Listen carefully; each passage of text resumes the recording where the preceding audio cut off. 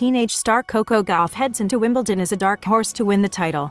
The American reached the final of the French Open earlier this month, where she lost to Iga Swiatek speaking at a press conference ahead of the start of the tournament. Gauff shared her views about the return of Serena Williams. The world number 12 marveled at the fact that Williams was still playing at the highest level and picked her as a contender to win the grass court major. I'm glad that she's back, obviously. She's someone that I look up to and it's quite incredible really that she's still playing at the highest level, Gauff said.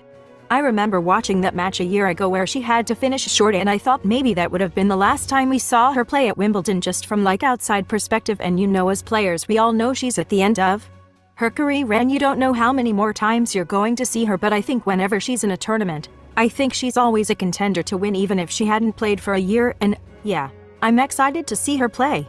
Gauff said she believes she can win Wimbledon, especially after her final run at the French Open less than a month ago. Every tournament I go into I believe that I can win it and I think obviously having the good success these last couple of weeks, especially at French Open, I think it builds my confidence even more for that, she said. The American also spoke about her transition from clay to grass, saying the process was a lot smoother than she had imagined. I'm super happy with how my prep has gone.